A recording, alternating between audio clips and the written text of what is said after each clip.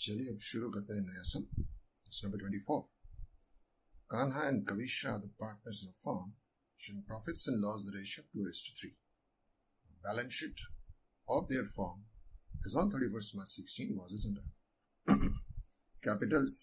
जो भी है contingency reserve workman compensation for investment reserve creditors by depreciation सामने है building machinery stock debtors bank investment दो चीज़ें रीडर के सामने जो रिलेटेड है, वो है बैड डेब रिज़र्व और इन्वेस्टमेंट के सामने होता है investment reserve this is use to absorb the price fluctuation in the investment ठीक है?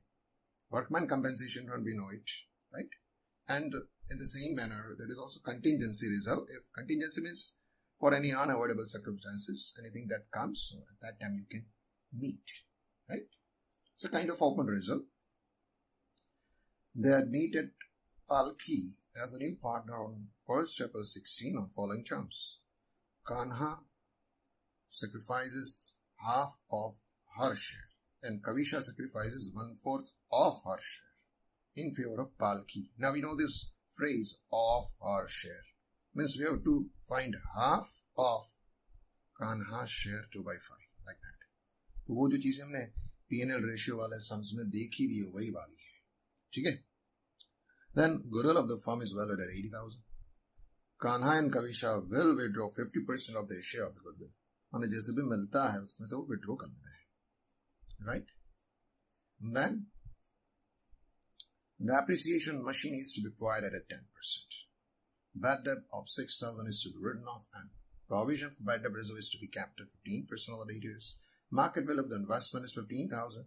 And अब यहाँ पे आपको ये देखना पड़ेगा, ये 30 का 15 हुआ। तो जो गैप है, वो गैप सबसे पहले इस रिज़र्व में से कंपेंसेट होगा और बाकी का रिवैल्यूएशन में जाएगा। Will see it claim for workman compensation is accepted to be 50 अब देखिए हमारे पास उसका फंड 40 है और क्लेम 50 का है। समझ रहे 10% of the creditors are not to be paid. Fine. And Palki will bring 1 lakh 20 as capital and her share of goodwill. Her share, how much? You have to find it.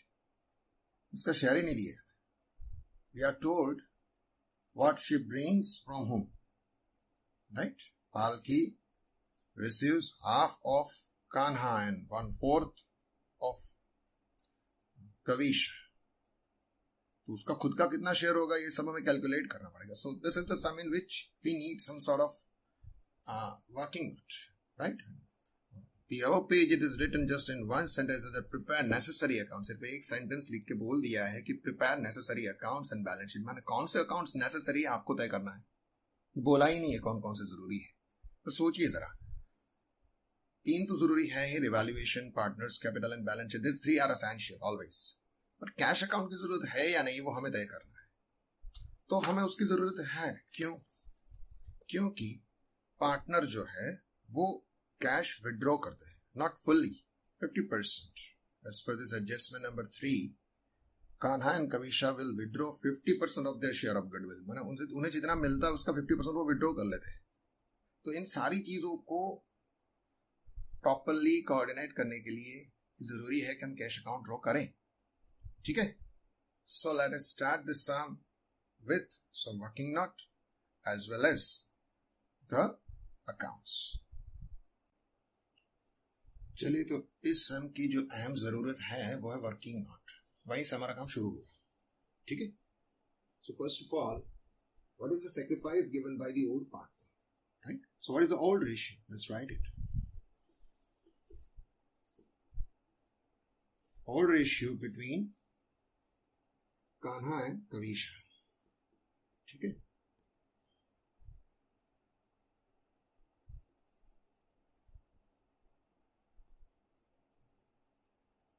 that is 2 raised to 3. So it's 2 by 5, 3 by 5. Now we are told Kana sacrifice half of his share. Right? So, sacrifice of Kanha. That is half of his share. So that's 2 by 5 into 1 by 2, half. So 1 by 2 से multiply करेंगे तो half आ जाएगा. So that comes to can say like this 2 by 10 or yeah two को cancel कर दो तो one by five one in the same then you are given the sacrifice of Kavish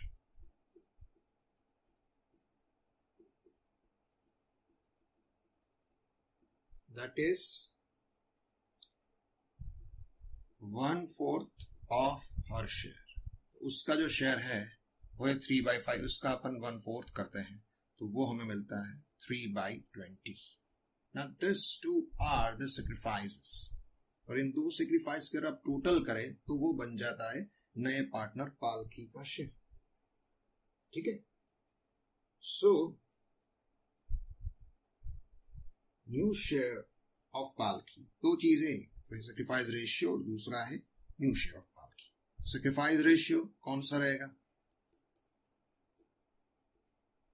So that is two by ten three by twenty अब इसके denominator को अगर आप equalise करें तो कैसे रहेगा? That becomes four by twenty is to three by twenty ठीक है? So the sacrifice ratio is going to be four is to three this is way you can say it's a sacrifice ratio right तो ये बन गया उनका sacrifice ratio अब, पालकी का शेयर क्या रहेगा?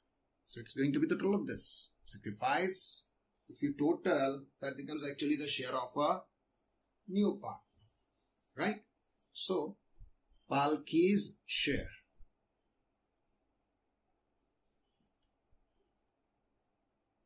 that is nothing but the sacrifice given by both the partners यहाँ से उसको 420 मिलता है दूसरी जगह से उसको 3 बाई ट्वेंटी मिलता है तो इस तरीके से टोटल बनता है 7 by twenty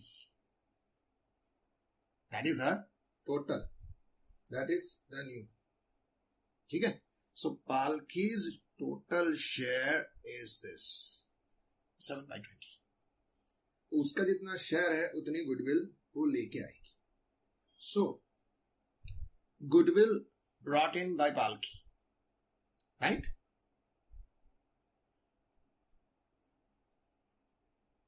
goodwill brought in by Palki. Right? So, what is the total amount of goodwill? You are told that the total amount of goodwill is 80,000 and her share is 7 by 20.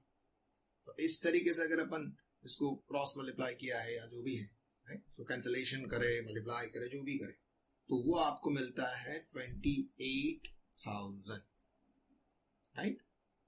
it's seven four twenty eight तो इतना पालकी को goodwill के form में लेके आना है। Right दूसरी बात, वो जो ये पार्ट लेके आती है, वो पार्टनर्स के बीच में डिवाइड होगा उनके sacrificing ratio that is four is to three में। और उसका हाफ़ वे विड्रॉ करेंगे। Right so how much how much it will be. Right? So this is going to be divided in this ratio. You say cash to premium for goodwill and premium for goodwill to partners capital. So सीधा इसको हम divide करके ही देख लेते हैं कि किसको कितना मिलेगा ठीक है कान्हा एंड कवीशा दोनों का ratio four is to three ठीक है तो four by seven three by seven इस सेक्रीफाइस रेशियो में ट्वेंटी एट डिवाइड होंगे तो कान्हा को मिलेगा सिक्सटीन थाउज़ेंड कबीशा को मिलेगा ट्वेल्व थाउज़ेंड इसमें से आधा आधा दोनों विड्रॉ कर लेते वो they receive half of that they withdraw ठीक है? They withdraw half of this means they withdraw 8 and 6. Fine. Now let us start the sum with uh, your opening balances as usual. ठीक है? पहले सभी partners के opening balances लिख लेते हैं। उनके कैपिटल अकाउंट्स के जो भी हैं। तीनों की तो अभी नहीं लिख सकते दोनों की ही लिखेंगे। राइट बाय बैलेंस प्रोडाउन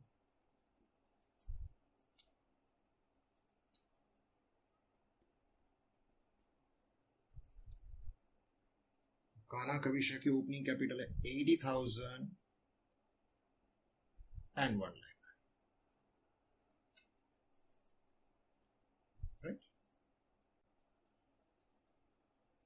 फिर हमको दिया गया है कंटिजेंसी रिज़र्व जिसका कोई एडजस्टमेंट नहीं है।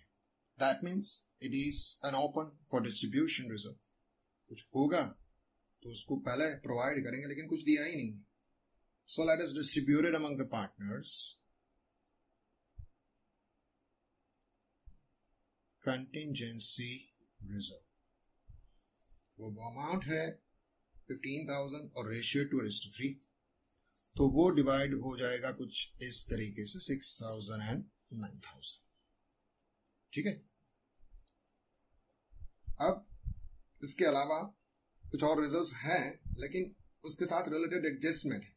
जिसकी वजह से ये हो सकता है कि शायद उसमें कुछ ना बचे या बहुत थोड़ा बचे। तो वो जब एडजस्टमेंट आएँगे तब देखेंगे कि इस रिज़र्व में से कहा कुछ बचता है कि नहीं।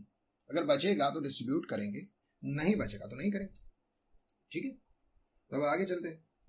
ना first two adjustments are in a way पहला है सेक्रीफाइस कितना, दूसरा है गुडविल इतनी।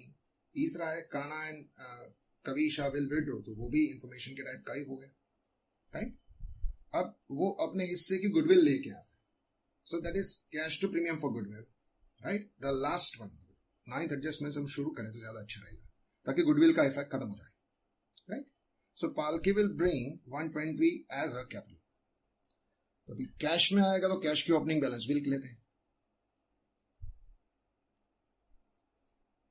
दैट्स टू बैलेंस रिटर्न तो कैश की opening balance fourteen thousand cash bank एक ही है।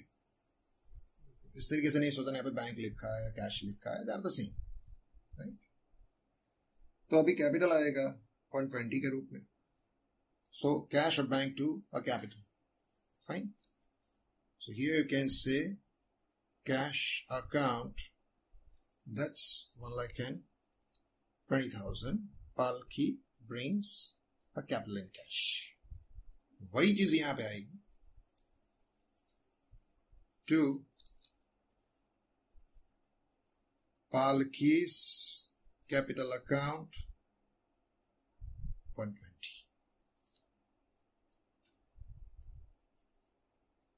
Right? Now, she brings her share of goodwill in cash.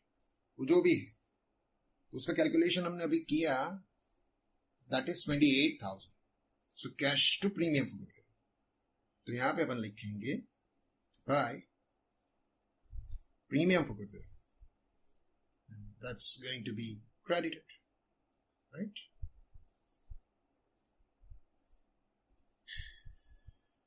partners के अकाउंट में क्रेडिट हो जाएगा उनके sacrificing रेशियो में right and as cash comes in it's going to be entered here also. so write it here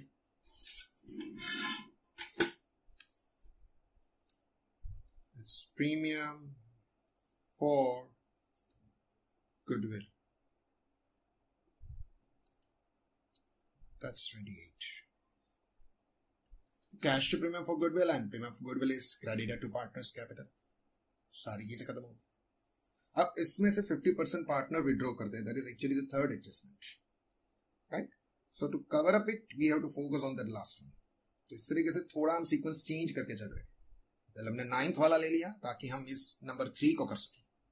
Right so fifty percent of this इसका fifty percent मैंने वो भी देख लिया था फोर्टीन नोट में।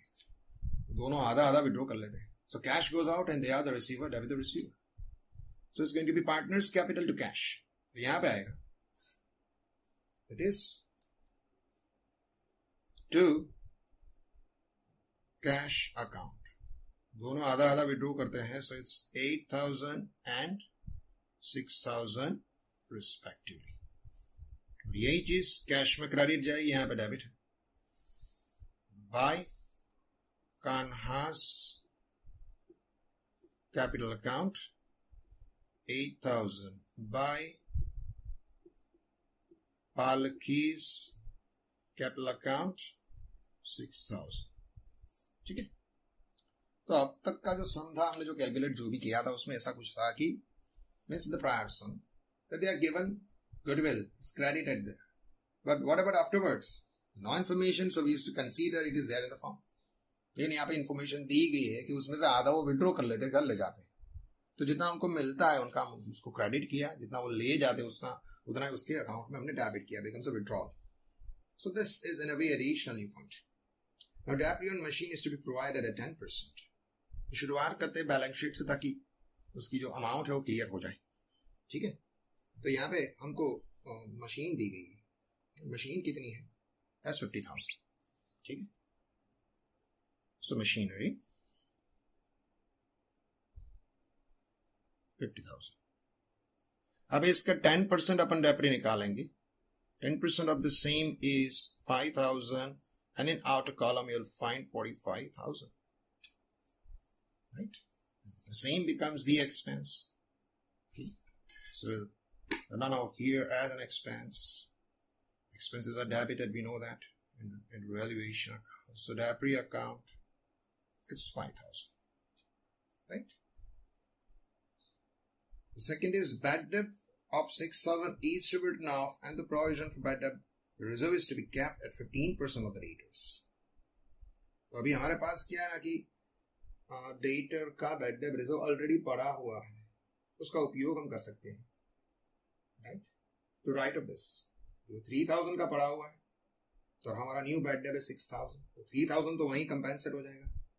और बाकी का बचेगा जो है that is going to be bad debt reserve right so let us do this process again let's begin from the balance sheet balance sheet से ही इसको शुरू करना पड़ेगा, ताकि हमको समझ में आ जाए।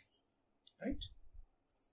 यहाँ पे लिखेंगे, सबसे पहले डेटर्स डेटर्स है हमारे पास सिक्सटी सिक्स थाउज़ेंड के, इसमें से बैट बैट डेब माने गए ये हो गए सिक्स थाउज़ेंड निकाल दिया सिक्सटी अभी इसके ऊपर हम बीडीआर अप्लाई करेंगे It's going to be 10% of this. Oh, sorry, 15%. So bad debt reserve is going to be 15% of this. So 15, 6 comes to right इसका हम फिफ्टीन परसेंट करते हैं तो वो हमें मिलता है nine thousand remaining is fifty five तो अभी क्या हुआ? टोटल लॉस अगर अपन देखें six thousand and nine thousand है। और ओल्ड बैड डेब रिज़र्व हमारे पास कितना बचा है? That is of six thousand ठीक है? तो वो जो six thousand sorry three thousand bad debt reserve हमें बैलेंस शीट में दिया गया है दैट इज़ थ्री थाउज़ेंड तो फिर सिक्स थाउज़ेंड जो है राइट right? इसमें से थ्री थाउज़ेंड हम उसके सामने कंपेंसेट करेंगे। क्योंकि रिज़र्व किसके लिए है? फ्यूचर बैड डेप के लिए। फ्यूचर में बैड डेप होता है तो बैड डेप रिज़र्व उसका हम यूज़ वहाँ पे करते हैं टू कंपेंसेट तो वही यहाँ पे कर रहा है। हमारे पास पास्ट रिज़र्व पड़ा था थ्री थाउज़ेंड का और इस साल सिक्स थाउज़ेंड का बेड डेप हुआ तो सिक्स थाउज़ेंड में से थ्री थाउज़ेंड उसके सामने कंपेंसेट हो जाएँगे। बाकी का जो है वो रिवेल्युएशन में जाएगा। ठीक है? सो यहाँ पे आएगा that is to bad debt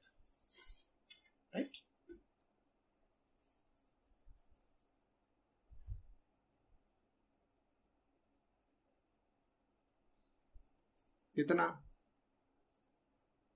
हुआ है सिक्स थाउज़ेंड और ओल्ड हमारे पास बीडीआर पड़ा है थ्री थाउज़ेंड का तो इसको निकाला, बाकी का जो है वो लॉस कुछ ऐसा है कि भी हमारे पास जितनी सेविंग होती है, उसका उपयोग हम पहले करते हैं।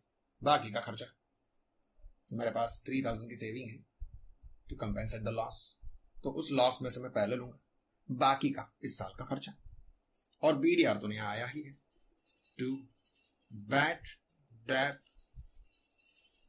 reserve that's nine thousand अगले साल अगर कुछ बैड डेप होगा तो उसके लिए ये यूज़ होगा। मानो अगले साल अगर दस हज़ार का बैड डेप होता है तो नौ हज़ार तो यहीं से प्रोवाइड हो जाएँगे।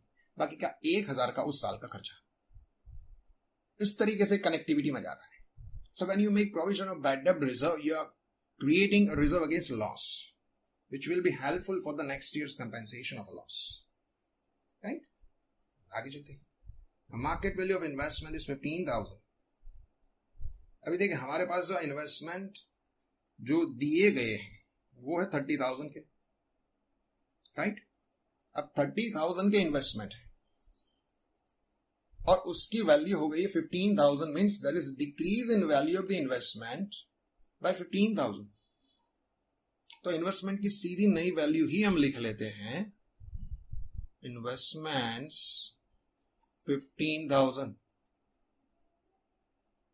right investment जो है, वो फिफ्टीन थाउज़ेंड के हो गए। लेकिन, अगर हम, हमारे पास उसका जो रिज़र्व पड़ा है, उसको देखें तो वो कितने का है? थोड़ा सा कैलकुलेशन देख लेते हैं, हम क्या कर रहे हैं। राइट तो book value of thousand less reduction fifteen thousand ठीक है? This is the market value तो रिडक्शन कितना आया? 15 का। अब जो रिडक्शन आता है, उसको हम कंपेंसेट कहाँ से करेंगे? अगर हमारे पास उसका कोई रिज़र्व नहीं है तो ये पूरा का पूरा लॉस जाएगा समझ रहे suppose you are not given any reserve तो ये पूरा लॉस हो गया, लेकिन आपके पास इसका रिज़र्व है। रिज़र्व है माने कुछ क्वेश्चन है आपके पास, कुछ पड़ा है। तो पहले वहीं से हम कंपेंसेट करेंगे, बाकी का जो आएगा, वो आपका करंट ईयर का लॉस होगा। जैसे बाइडअप रिज़र्व हमने किया तो कोई भी रिज़र्व है, उसका रोल यही होता है कि कुछ भी लॉस हो तो सबसे पहले एप्सअप होगा रिज़र्व से, और उससे ज़्यादा अगर लॉस होगा तो वो रिवेल्युएशन पीएनएल जो भी है वहाँ पे जाएगा। ठीक है? तो वही प्रोसेस हम करते हैं that is reduction in value 15 and investment reserve 12 this is your loss.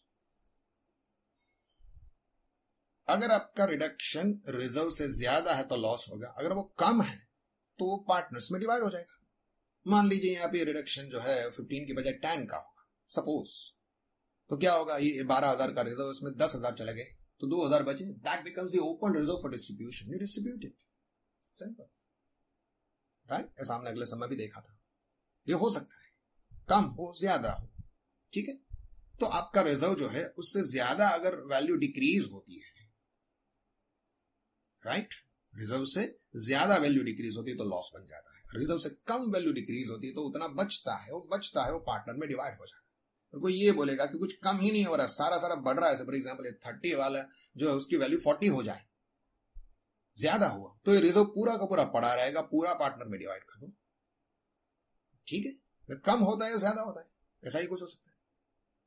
Right now let's go for the entry for the seen जिसकी एंट्री अपन करें। So it's a loss loss of three thousand we just seen वो जाएगा यहाँ पे investment account में। That's three thousand ठीक है?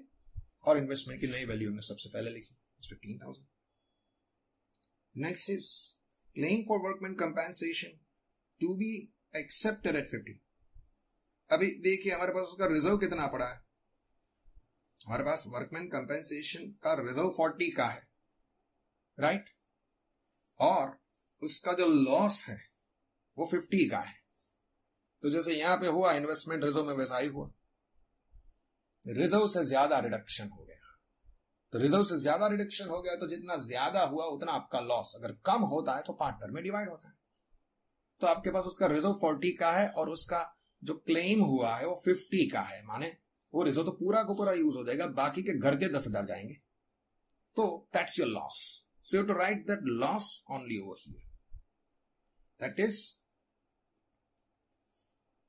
workman compensation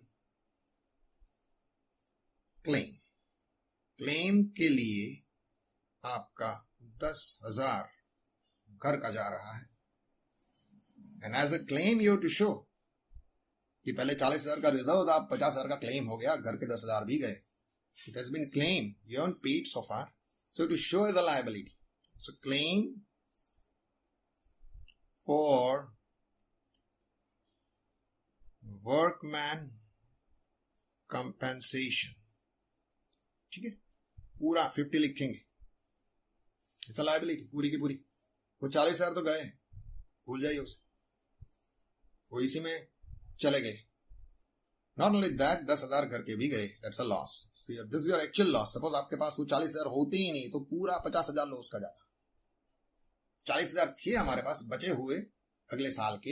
as a reserve तो हमारा लॉस इस साल थोड़ा कम हो गया। This way you know the reserve is playing role of a question support कि थोड़ा प्रोवाइड कर लो भाई, तकलीफ़ ना हो। तो चालीस हज़ार हमने अगले साल रख दिए थे। कि शायद इस साल इतना कुछ क्लेम आएगा, और आया।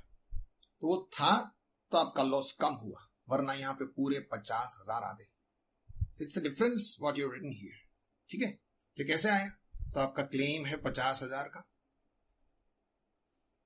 ठीक है? और आपके पास रिज़र्व पड़ा है चालीस हज़ार का।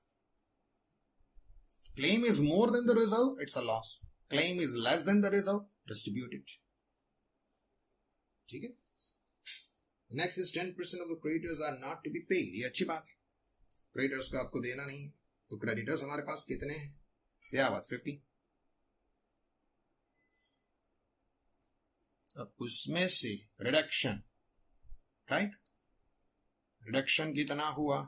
डिक्रीज कितना हुआ? टेन परसेंट माने फाइव थाउज़ेंड आउटर कॉलम में जाएगा forty five it's a benefit कम देना है तो अच्छी बात है राइट तो यहीं पर लिखेंगे बाय क्रेडिटर्स ठीक है? ये हो गया पाँच हज़ार। तो अभी अपन देखें, और कुछ है ही नहीं। नथिंग इज़ लेफ़्ट सारे एडजस्टमेंट कवर हो गए। नाइन्थ वाला हमने सबसे पहले किया। बाकी कैलकुलेशन था। So now it's time to find out the result that's the profit और लॉस ऑन दिस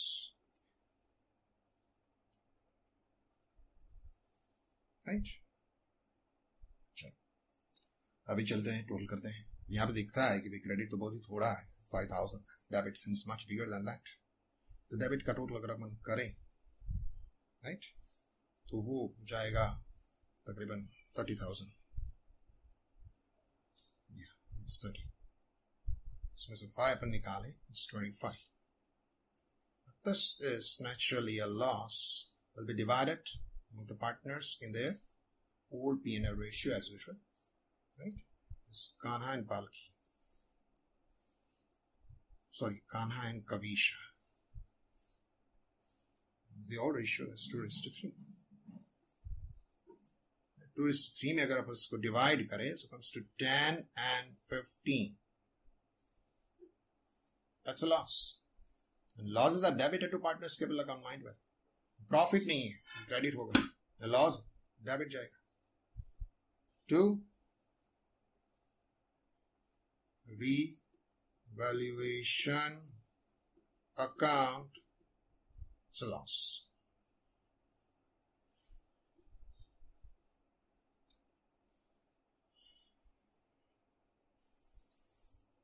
ठीक है दोनों बातें होगी